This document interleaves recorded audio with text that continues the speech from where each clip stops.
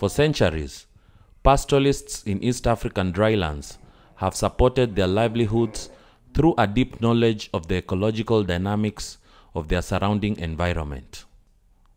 They are experts at adapting to climatic changes and resource limitations. But in the last five decades, the Maasai have found it more difficult to effectively adapt. This is due to population growth, loss of access to pasture and water, to other land uses like industry and farming, and more frequently, droughts. Traditionally, livestock production was guided by customary leadership institutions that will make the key decisions about how to use drylands, such as where and when to graze and how to regulate water use.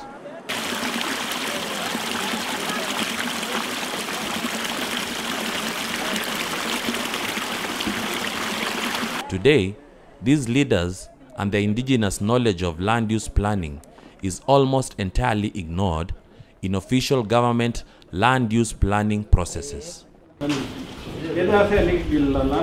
Working in Longido district, the Tanzania Natural Resource Forum and the International Institute for Environment and Development, funded by GOTA and CODAID, have been working with the local government authority along with traditional community leaders to try and improve planning processes so that they better reflect the needs and uses of the people who live on, rely on, and understand the land. The objective or goal of this project really is to contribute to building the capacity of the district of Longido, which is one of the dry, very dry districts, to really um, plan very, very carefully how to use their natural resources. Tulianza kule Lake Natron kule wanaita Magadini, tumekuja kule Lumbwa, Mirugo huko Ketumbeine, e, tumekuja sehemu za Ngarenaibor, Mundarara, Longido, ka Longido tumekuja jana hivi. Sasa unaona ni wilaya nzima, na tukitoka tunaenda Tingatinga, naenda Sinya, tunarudi Namanga. Kwa hiyo kusema kweli, waheshimiwa wamepata nafasi ya kuona halmashauri yao. Tumefanya hivyo makusudi ili madiwani tunapokutana kwenye vikao vya halmashauri e, halmashauri wajue mazingira ya wilaya, tunapozungumza habari ya barabara, habari ya elimu, habari ya maji, habari ya nini, wajue mazingira ya wilaya yao ikoje. Jambo la pili, tunafahamu wilaya ya Longido kwa asilimia kubwa tunatumia mifugo. Kwa sababu hiyo, mifugo hawa hatuwezi kuwa na mifugo kama hatuna mapario ya kupitisha mifugo hawa na wanyamapori. Mifugo hawa ndio tegemeo letu kwa asilimia kubwa, na kuna hatari ya mapario au mapitia ya mifugo kushambuliwa na kuharibiwa kabisa na kufungwa kabisa. Pastoralists and their way of life really depend on, on three major issues, and that is, on the one hand, natural resources, on the other, the livestock herd itself, and on the other is the institution of people who look after the livestock. So there is a close relationship between natural resources and livestock, and there is a very close relationship between people and livestock. They all depend in each other. So it is very important that resources are planned very, very carefully because these resources uh, disappear when rains are not good. Longido tunafahamu tuna matatizo makubwa sana ya maji, lakini tukaona ni vizuri tutembee wilaya nzima, tuzungumze na wananchi wetu, watuambie tuna matatizo ya maji, tunafahamu. Je, uwezo ukiwepo, haya maji tuweke wapi? Ukitaka kufuga ng'ombe lazima uwe na malisho na lazima uwe na maji. Sasa hao ng'ombe ni lazima nao tuwatengenezee mazingira mazuri. Kwa hiyo wengine watakwenda kuzungumzia Rukoso, wengine watazungumzia maji, wengine watazungumzia ngaro. For communities in Longido, land use planning is not typically done on paper. But as the government tends to view pasture and grazing land as open areas, it is clear that unless communities in Longido are able to formally demonstrate the value and actual use of these areas, land tenure will be threatened. Mapori yetu mengi kwa wilaya ya Longido na wilaya ya wafugaji nyingi, serikali inaona kama ni mapori ambayo hayana matumizi. Tukasema baadaye tupime maeneo yote ya malisho na kuwekea beacons na kuweka sheria ndogo kwa ajili ya kuwafanya wafugaji kuwa na maeneo ya malisho endelevu. The team visited all villages throughout Longido to learn about the way they use their land. Village members discussed and plotted out the important wildlife corridors, livestock routes, water sources, and grazing lands.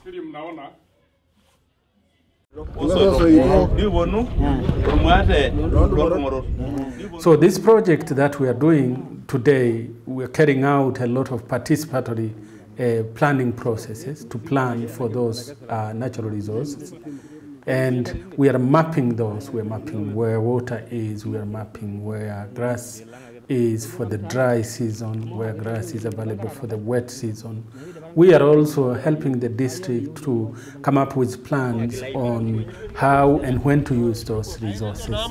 Katika ramani yetu hapa ukiona, ukiona hasa kama hii sasa, hii ni BH ambayo visima virefu, na ukienda kwenye kwenye WD hii ni matarajio ya mabwawa zetu ambayo tunatarajia kwamba ichimbwe. Atayiolo amagediro ayieu neyieruni enkare tele kisima pordoki toning'o mehomo mehomo mpaka i mehomo mpaka nkeri Eh, maana ine wuei meeleweka. Eh.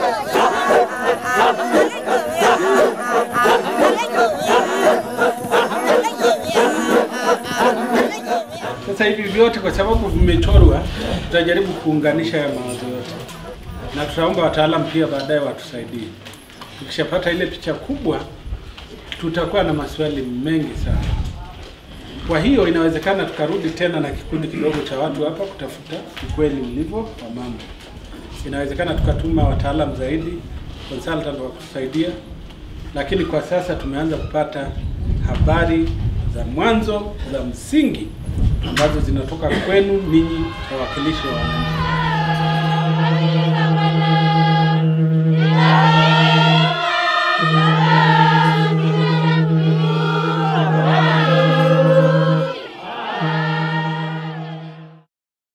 Following the participatory mapping and scoping process, the information was shared with technical mapping experts to help formalize the maps and land use plans using satellite imagery and GIS. We've managed to return all of our data to the community groups who originated it. Um, we've, we've mapped out all the areas of, of interest for the whole district now. So, so we have over 500 water points, um, grazing areas by the different seasons and, and cattle routes um, for the whole district now. And um, that's, that's really helped us to, to describe um, the full picture, at least as far as that area is concerned. And uh, as I said before, it's a cyclic process where we have to, to consult, formalise, feedback to make sure that it's correct and, and, and, then, and then derive more data. And, and that process is, is going well for now. So, so I'm, I'm, I'm happy for that. Our next move now is that we are going to have a full council meeting, which will look on all these maps, uh, consolidate and, and ensure that they agree on it, and pass these maps. Once they pass it, they have then maps ready, and the next thing they will do is to ensure that there are bylaws to protect this. So the full council will come up with bylaws, which will be passed to higher levels of government and gazetted in the government gazette. Once that is done, now it is uh, laws within Longido. So if people misuse these resources, the same laws will really pin them down. Mimi kwa kweli hizi ramani zimenifundisha mambo mengi sana, na pia nimejifunza kwamba ramani hizi zitakapotokuwa tayari, ardhi yote ya Longido, kwa maana ardhi ya vijiji itakuwa mikononi mwa jamii. Kama tutafanikiwa kutengeneza ramani nzuri na kuweza kuweka alama kwenye maeneo ya malisho na kuitafutia baadaye hati miliki, mimi nafikiri ardhi yote ya Longido itakuwa mikononi mwa wananchi wa Longido. Kwa hiyo hakuna ardhi yoyote itakayoonekana kwamba haina matumizi. Nimetambua maeneo ya utawala katika wilaya yetu kwamba mimi na Ngorongoro napakana wapi, lakini pia mimi na wilaya zingine za jirani napakana wapi, kulingana na ziara tuliyofanya ya madiwani ya wilaya nzima, kutambua mapitio ya mifugo na maeneo ya kufugia na maeneo yanayostahili kuwa na maji na maeneo yenye maji. Hiyo imenifa, imenipa mimi funzo kubwa kwamba kumbe wilaya yangu inafikia wapi, lakini pia ina matatizo gani. Kwa hiyo nimeweza kufanikiwa sana kutokana na mafunzo haya kuyaelewa na kuyatafutia utatuzi kwa kukaa na wa- wa- wananchi wenyewe katika maeneo yao. Katika utengenezaji wa ramani tutakuwa tumejiwekea e, nguvu kubwa ya kulinda na kutunza rasilimali hiyo mahali ilipo, kama vyanzo vya maji, kama misitu, njia za mifugo, njia za wanyama, kwa maana njia za mifugo, malisho ya mifugo yetu, maeneo ya taasisi e, na shughuli zingine na maeneo ya kitamaduni. Tutakuwa tumeyaweka katika, katika, katika utaratibu ambao tunaweza kulinda aidha kisheria au kitamaduni na kijamii katika yale maeneo ambayo ni maeneo makuu katika, katika eneo letu. So the whole process is not really about um, land use or village land use plans. That's not the issue. The issue is how do you plan? How do you really, with the people, plan how best to utilize resources? So this is resource management plans. And um, it does not talk about boundaries of a village. It does talk about where are the resources, when should these resources be utilized, but particularly because the pastoral system is one which is communal, people share resources. So this is what we are trying to strengthen. But we are not also saying we are throwing away government plans. No, we are trying to integrate what is there from the part of the government and what is there from the part of the community. And we believe by really bringing the two together, you then have a possibility to make these pastoral economies very resilient, particularly at these times of climate change.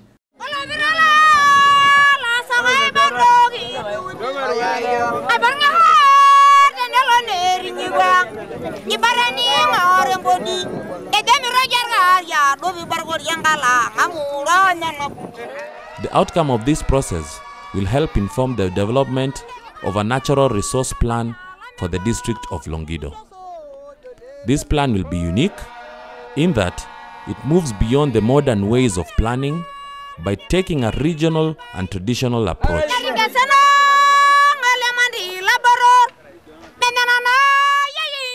And as climate change adds pressure to Tanzanian drylands, flexibility, adaptive capacity, and mobility will be key to securing the livelihoods of those who live there. This plan is an approach to better reflect and support the realities on the ground.